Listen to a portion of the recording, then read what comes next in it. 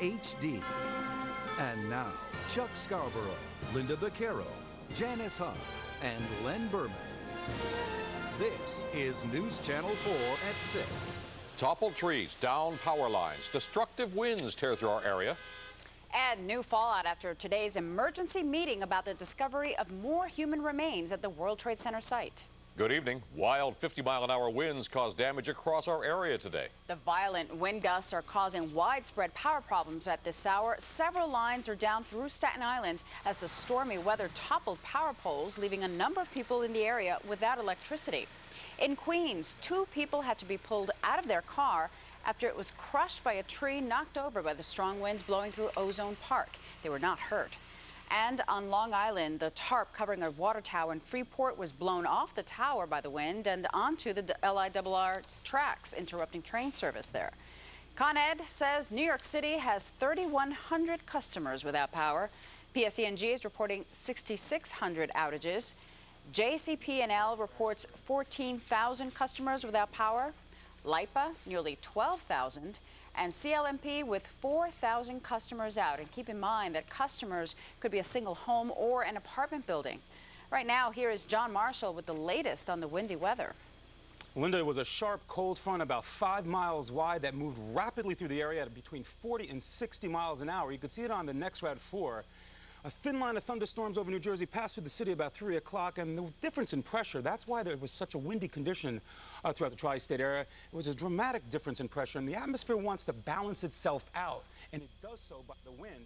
Right now, the pressure is rising rapidly. Take a look at the wind gusts the last several hours throughout the tri-state area. Mount Pocono uh, in the Pennsylvania area, 61 mile an hour wind gusts, 53 mile an hour wind gusts, White Plains, 46 Newburgh, 43 degrees in Central Park with the winds. And right now, wind gusts continues at 53 mile an hour at White Plains, 39 in Atlantic City. The winds will continue through the next probably three to five hours and then abate after midnight. And for that reason, a wind advisory has been posted. We'll have your weekend forecast coming up in a few minutes. Lynda, back to you. All right, thanks, John. And this afternoon's storm will be felt for the next few hours at the airports. JFK, LaGuardia, and Newark are all experiencing nearly three-hour delays on arrivals. Make sure to call ahead if you're heading out of town. And today's storm has already caused delays on the Long Island Railroad. Minutes ago, service was restored to the West Hempstead branch. It was suspended due to leaning power lines, but some LIRR routes are experiencing 45-minute delays. Mayor Bloomberg called an emergency meeting of his top commissioners today to deal with yesterday's discovery of human remains at Ground Zero. Tim Minton's live at City Hall right now to tell us how that meeting went. Tim? Chuck, the announcement came here late today. They are reopening the recovery operation at the World Trade Center site. The idea today was to get everybody in the same room to determine if there had been oversights in the earlier recovery process, and if so, to make sure that they didn't happen again summoned by the mayor with just a few hours notice, the attendance list was a who's who of New York City crisis control. The police commissioner with two top chiefs, fire commissioner, a chief medical examiner almost never seen in public, Battery Park city bosses, the MTA, and Verizon's vice president. It is a mystery. We have to find, we need more information. They all came because a Con Edison cleanup Wednesday in a manhole just yards from where names are read every 9 11 anniversary uncovered human remains. City officials had long since declared the recovery effort over. You know, they did the best they could. And uh, there's, you can't be perfect, unfortunately. The meeting ordered by the mayor began just as Uptown relatives of 9-11 victims were offering blunt reaction of their own. Today I am sick, I am disgusted, I'm outraged, but I am not surprised. It can no longer be an accidental discovery that brings in their established protocol. The protocol must be that we actively search for remains and then everything else takes place. I'm very proud of the work that our people did. Earlier today, Fire Commissioner Scoppetta looking backward and ahead. We will now, with this new development, apply the same uh, comprehensive approach uh, with multi-agency involvement, um, and we will make sure that to the extent possible, uh, any remains that are there will be found. But Charles Wolfe, whose wife's remains have not yet been recovered, says it's time for outside help. What I think is important right now is we bring in a qualified, independent agency who can look things over and say, hey, did you do this? Did you do this? A sentiment not shared by those who met for almost an hour and a half to talk strategy. What was announced here is that they are going to go back into manholes in the area around Ground Zero, and at the same time, the city's Department of Design and Construction is going to look for other underground areas that may not have previously, that they may not have been aware of, so that they can go into those too to check for remains. Although City Hall says at this point there is no plan to stop or delay the construction of the new buildings that are already underway there. We're live at City Hall. Tim Minton, News Channel 4. Thanks, Tim. And the debate about what to do next at Ground Zero continues this Sunday on News Forum. You can see Gabe Pressman's entire interview with Senator Chuck Schumer starting at 6.30 a.m. After three mistrials, the government has decided not to pursue its racketeering case against John Gotti Jr. Last month, Gotti walked out of a federal court in Manhattan after a jury deadlocked 8 to 4 in favor of convicting him on racketeering charges. Two previous trials also ended with hung juries. Radio talk show host and Guardian Angels founder Curtis Sliwa promised to pursue a civil suit against Gotti. Sliwa says his near-fatal kidnapping in 1992 was ordered by Gotti. The dirty bomb threat against seven NFL stadiums this Sunday, including Giant Stadium in the Meadowlands, is over. A hoax, according to the FBI and U.S. Attorney in New Jersey. The suspect, a grocery store clerk in Wisconsin. New Jersey reporter Brian Thompson has more. No one ever took the internet threat itself seriously for this weekend's Jets game and six others. But from East Rutherford to Miami, Atlanta, Seattle, Houston, Oakland, and Cleveland, security was tightened. At one point, we were told lawmen seriously considered inspecting every car entering the parking lot here using a Geiger counter type device as they do at the ports to detect any radioactivity from the threatened dirty bombs. Would it have kept fans away? I'd go if I have the ticket, especially on the 50 yard line, one seat up, why not? And this week it will be uh, additional people on site, and additional equipment on site to handle anything that we encounter. Extra security will not mean longer lines here, now that the feds have arrested 20-year-old Jake Brahm of Wauwatosa, Wisconsin, who allegedly posted his writing some 40 times. And for Mr. Brahm, this is the big league. Don't mess with football. And this coming Sunday, the NFL referees won't be the only ones wearing stripes. Clearly, uh, this was a situation where this was a guy who not only uh, posted this, but also uh, took some time to brag about it as well um, to others. Was this threat that could have affected game day tailgaters from across the tri-state area just a cry for attention from a 20-year-old still living with his parents? Well, even if it was, the experiences of 9-11 drew this from the U.S. Attorney. We definitely plead guilty uh, to being aggressive in our protection of the people of New York and New Jersey um, and this region, given our common experience of September 11th. Because the investigation began in New Jersey, because the FBI here has worked closely with the NFL in the past, the U.S. Attorney says Brahm will have to face the music in Newark federal court. In East Rutherford, Brian Thompson, News Channel 4. It's been 25 years since two officers and a security guard were gunned down in Nyack by self-styled revolutionaries. This afternoon, the community gathered to show that the shocking crime is something they'll never forget. Andrew Siff is live in Nyack right now with the story for us. Andrew? Chuck, people unfamiliar with this area might just think it's another traffic intersection where 59 hits Mountain View, but people who live around here know different. It is one of the most notorious crime scenes in Rockland County history.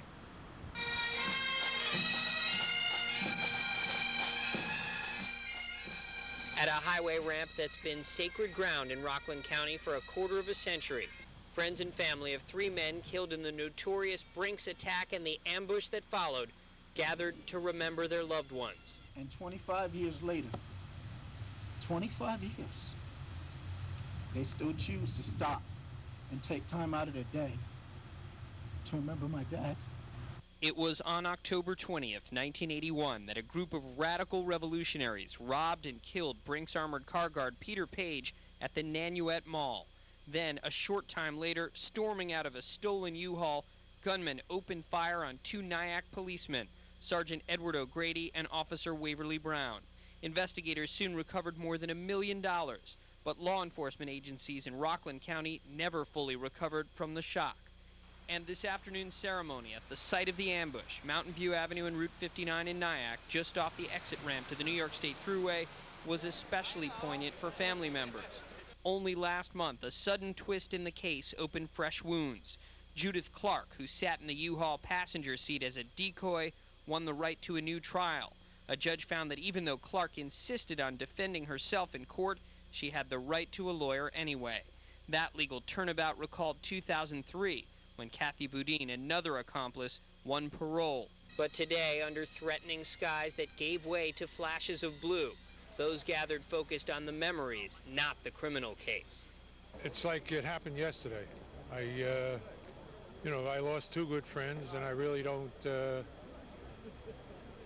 what should I say? I don't like to uh, speak about it. It's not about me, it's about them.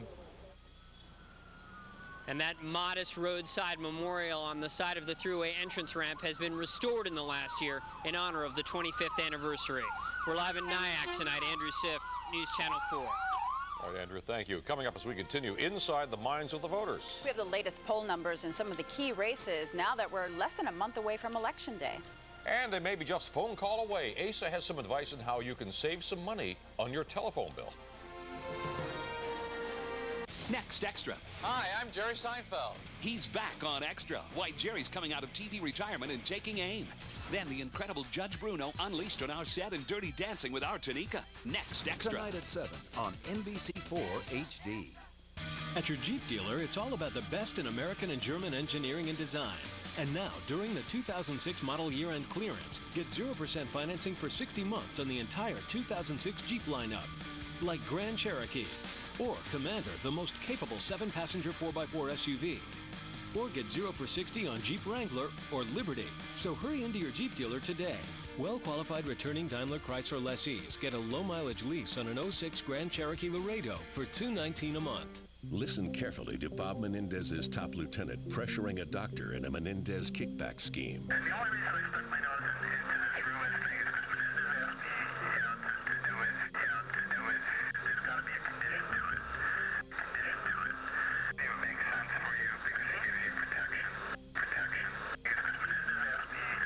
Kickback schemes, federal criminal probes. That's what you get with Bob Menendez. I'm Tom Kean Jr., and I approve this message. The Hyundai Tucson comes loaded with standard features, including this one. JD Power and Associates rank the Tucson highest in initial quality.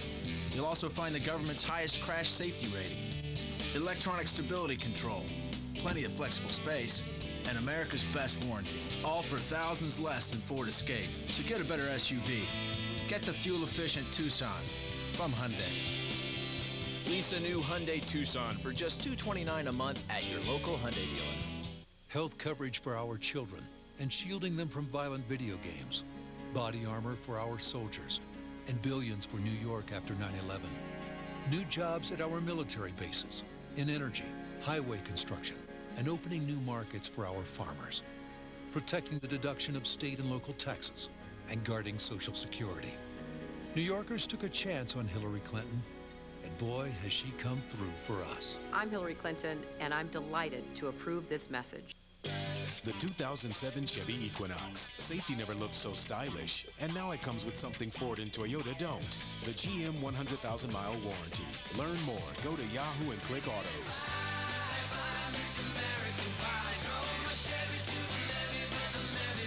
Qualified lessees can get a low mileage lease on an 07 Equinox front wheel drive LS for around 269 a month. Residency restrictions apply. Call for details. Visit your local Chevy dealer or ChevyOffers.com. Log on to WNBC.com for your chance to win two tickets to see the musical spectacular Disney's Beauty and the Beast. Then sign up for email news alerts delivered directly to your inbox or cell phone. The all-new WNBC.com. Enter the new world. As the campaigns for statewide office in New York head to the home stretch, we're joined by Lee Miringoff with the latest numbers on the Marist poll. And one of the first questions, will today's lopsided contest become landslide victories on Election Day? Well, Lynda Chuck, the frontrunners for New York's four statewide races are all Democrats. They have big leads, and right now they're in a position, the Democrats are, to sweep these contests for the first time in modern political history. Checking these numbers, Senator Hillary Clinton leads Republican John Spencer by a whopping 37 percentage points. Eliot Spitzer is trouncing John Faso in the race to become New York's next governor, and controller Alan Hevesi has a very comfortable lead over his Republican challenger. And the race for New York State Attorney General, the attention grabber so far in this campaign, Andrew Cuomo has 56 percent. to 36% for former Westchester DA Jeanine Pirro. Uh, Pirro has weathered the political storm over allegedly considering a wiretap of her husband, but she still trails Cuomo by a very wide margin. Well, this was like a, a total Democratic landslide in New York, but is there any chance, however slim, of some kind of an upset Well, in the race? at, at this point, not really, but as we look at the numbers, you know, Alan Hevesi, the controller, is under investigation for allowing a state employee to be his uh, driver of his wife's car. And in a worst case scenario, depending on the outcome of that investigation and when that is released, uh, he could run into some trouble down the road. That's one to be watching. Okay, well, speaking of controversy, let's turn our attention now to the congressional races. Is there likely to be any fallout locally from the Page scandal in Washington? Yeah, well, Congress has certainly been tarnished by, by all of this uh, and what we've been hearing about. Only 32% of New Yorkers think most members of Congress deserve reelection. 47% question the honesty and ethics of their own representative, and 74% think Republican congressional, congressional leaders have acted unethically. And the clincher in all this, by more than two to one, voters in New York, a Democratic state, tell us they intend to vote for the Democrat candidate for Congress in their district. So that's something to be watching. And what else will be on voters' minds when they take to the polls? Well, a lot of things right now, and you know, certainly the war in Iraq, uh, war on terrorism. Uh, President Bush, whose approval rating is at a rock bottom 26% in New York. Um, important issues, but there are two weeks to go, a lifetime in politics, and you know, the ads are nasty. Expect things to get even nastier between now and then. All right, Lee, thanks a lot. Always a pleasure. Up next, ASA has the latest ways to cut your phone costs. And in sports, what the Mets are saying today. Last night's classic game number seven. Met fans distraught after a wild night of twists and turns. We will hear from the players at Shea the day after. Next in sports on News Channel 4 at 6. The history of Heather Mills, according to Heather Mills. Get ready for one of the ugliest divorce battles of the year. Access investigates the ex making huge allegations against Sir Paul. Next, Access Hollywood.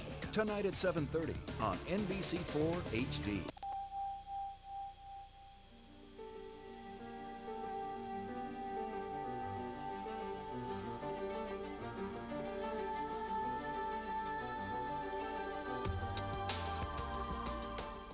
I'm Senator Bob Menendez, and I approve this message.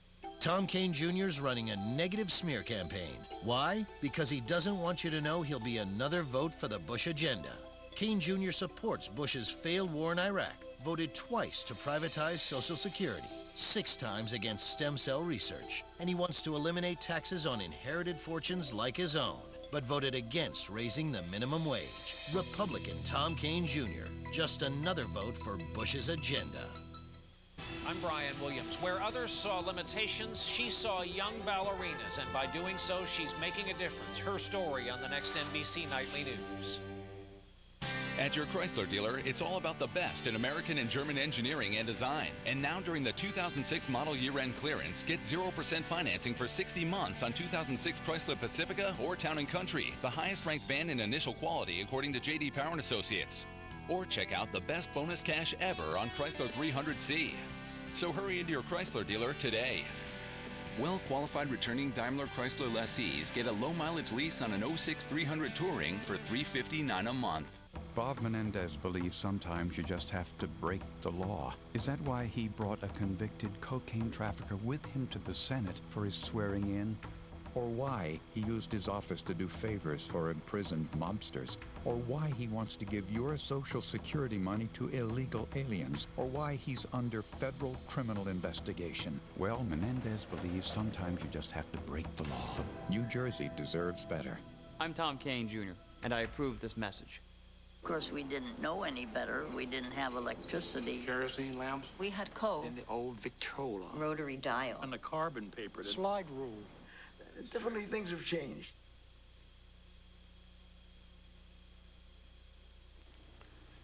Well, I don't have to tell you, the changes in telephone technology in recent years have been staggering. And Consumer Reports says so are the bills we're paying. Asa Aarons is here now with the story. And you know, phones serve so many purposes. Uh, we use them as computers, as cameras, as music players, and oh yeah, there's that talking thing. All the more reason to make sure you get your money's worth. Talk is cheap once you know how to buy it.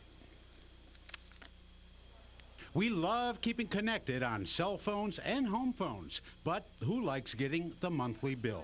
My phone bills for my home is ridiculous. If I don't follow the program the right way, it can double my bill. Consumer Reports' Greg Doherty says it pays to review your total communication costs at least once a year to see where you can save. One option, consider making a change in service. You may just want to use your cell phone for everything and give up your landline.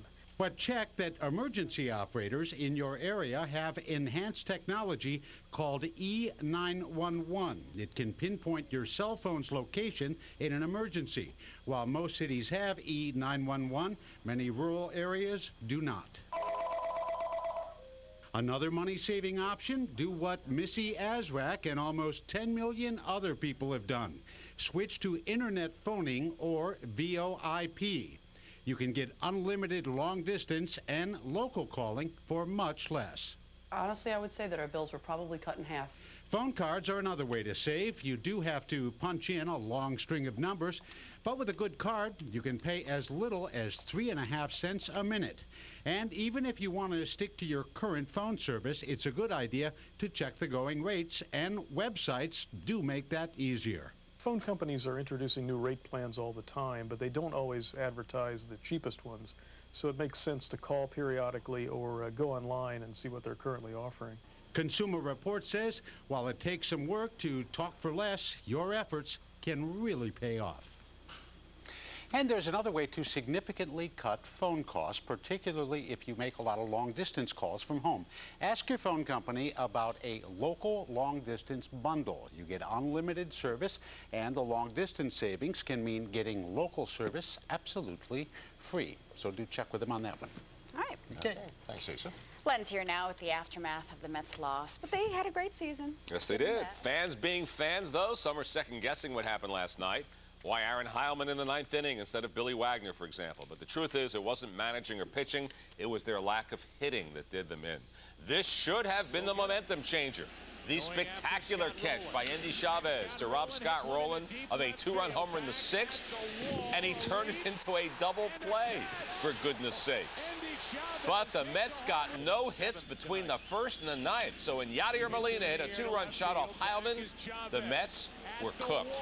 But now without a final chance, bases loaded for Carlos Beltran against Adam Wainwright. He said he couldn't pull the trigger. An apt quote since their offense at the most important times fired blanks. That's why the Cards, not the Mets, are heading to the World Series. You had a great opportunity at the end. Did you did you revel at that opportunity?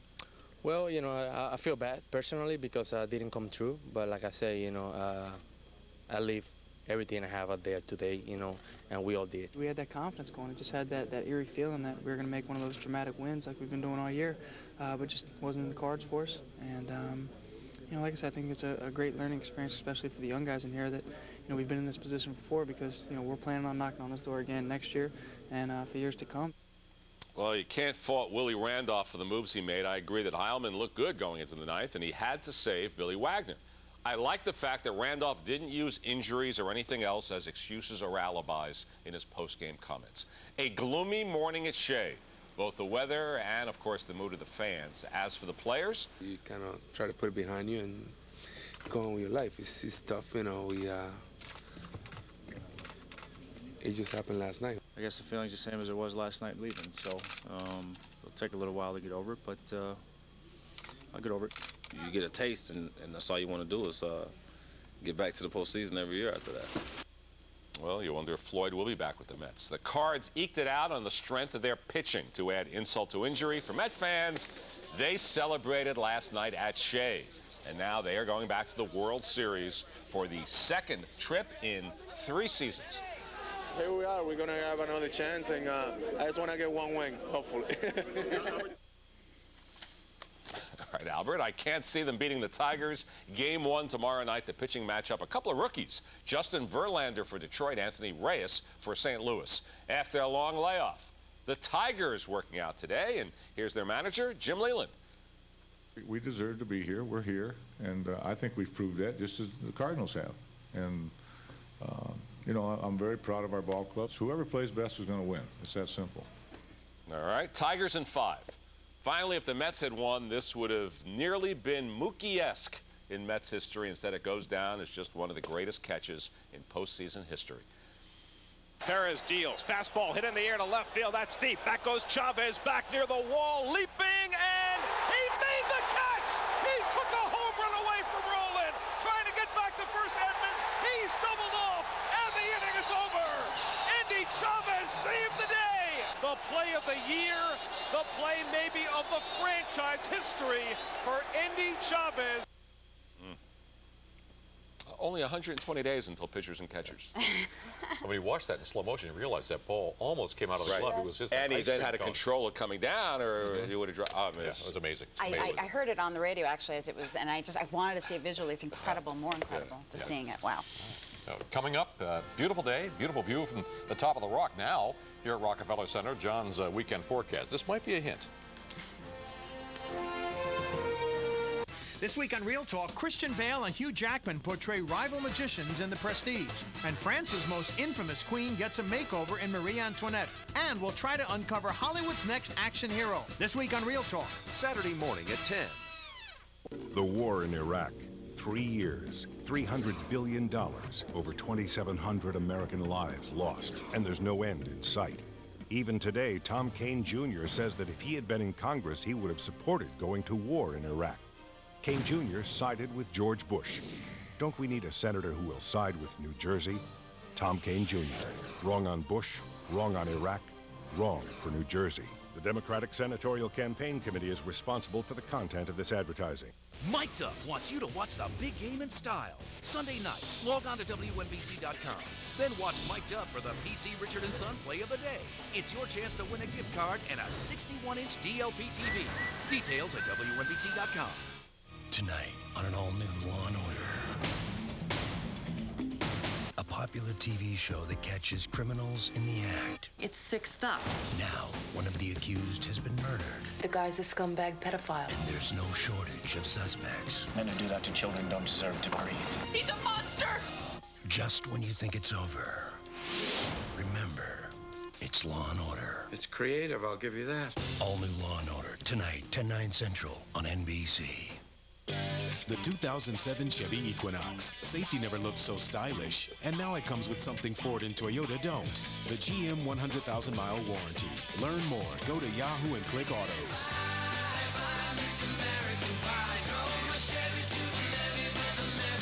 Qualified lessees can get a low mileage lease on an 07 Equinox front wheel drive LS for around 269 a month. Residency restrictions apply. Call for details. Visit your local Chevy dealer or ChevyOffers.com.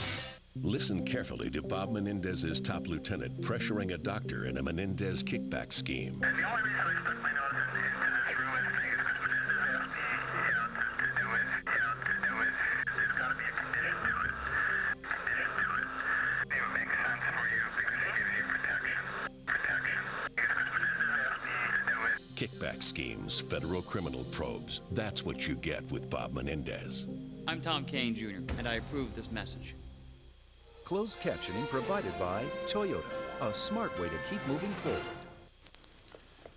It's time for the weather. John Marshall's here, and I did like the look of things in our live shot that we have from the top of the rock. There, Isn't it John. great? We got that camera up Yeah. there. Oh, it gives us beautiful shots in rapidly changing weather conditions the last three or four hours.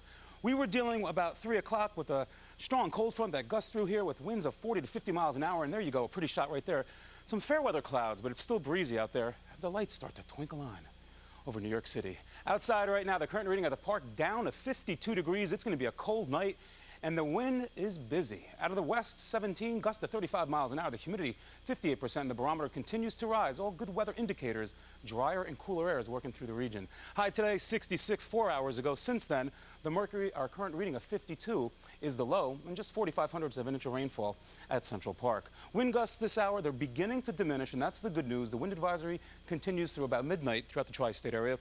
37 mile an hour wind gust at New York City, 33 Belmar, 39 Bridgeport, 35 in Newburgh. Again, saturated soil, Doesn't take much for weak trees to come down, so be careful out there in the next couple of hours. North and west of New York City, the cold air is a coming. 48 degrees in Sussex, Newburgh, 52 degrees in New York City. Colder still north and west of New York City. It's in the 30s and snowing in Watertown, New York. 40 in Ithaca, 58 degrees in Washington, and the front is just on its doorstep at Richmond, Virginia at 68 degrees. Satellite and radar picture, there goes that front. From 3 o'clock was over New York City. Right now it's over Boston. Baby's chugging. And to the north and west of New York City, again, the snow is beginning to develop. We're not going to see snow, but partly cloudy skies overnight, and the winds will diminish over the next three to five hours. Mostly clear after midnight, 43 in New York City, the mid to upper 30s north and west. There will be a bit of a wind chill out there, a bit of a bite to the air.